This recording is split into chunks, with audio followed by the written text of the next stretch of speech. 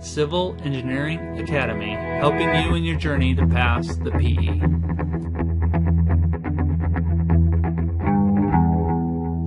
All right, welcome to Civil Engineering Academy. Today we're solving a problem from uh, construction.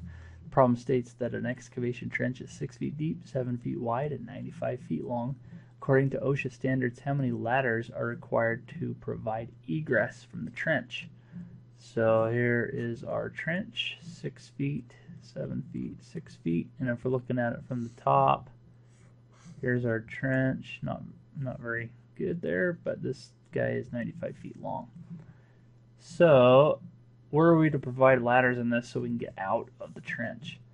In the Civil Engineering Reference Manual, which I'm using today, and Chapter 82 goes over construction safety, and specifically page 82-3, there's a paragraph there that states in trenches 4 feet deep or more, ladders, stairways, or ramps are required with a maximum lateral spacing of 25 feet. So if your trench is greater than four feet, you need ladders, and the max spacing is 25 feet. Okay? So anywhere you stand in this trench, you have to be able to access the ladder at a 25 foot maximum. So if you just start at the end here and say 25 feet, I'm going to need a ladder somewhere in here. Okay?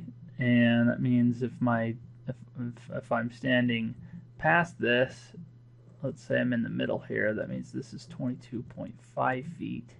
I can still access the ladder. Here I am.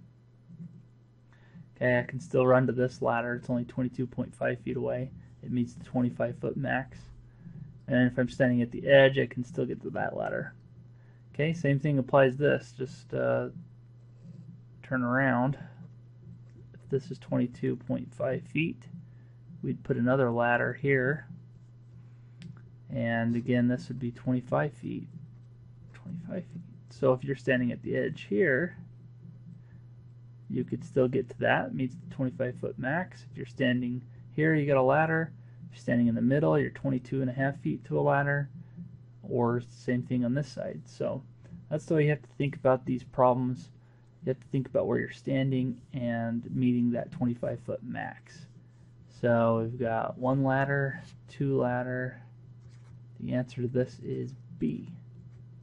I guarantee that there's going to be an OSHA problem on the PE exam. They usually have one problem. Civil Engineering Reference Manuals provided all the answers I've ever needed on OSHA problems, but uh, you never know. So you might need the whole OSHA standard depending on what they ask you.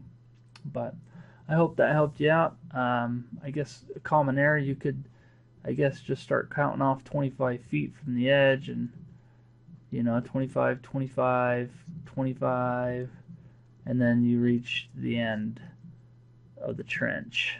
And maybe you would think okay I need one two three four. I need four ladders which would be wrong. Or even said you need three. One two three. That would be wrong you have to think about where you're standing and reading that meeting that 25 foot maximum so you only need two ladders in this type of trench. Anyway, I hope that helped you out. Head to civilengineeringacademy.com for more tips and tricks related to the PE exam. Thanks, bye.